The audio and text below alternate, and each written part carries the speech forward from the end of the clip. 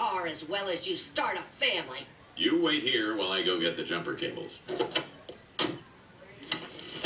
Oh, a panic attack, huh? Well, I'll give you something to panic about. Get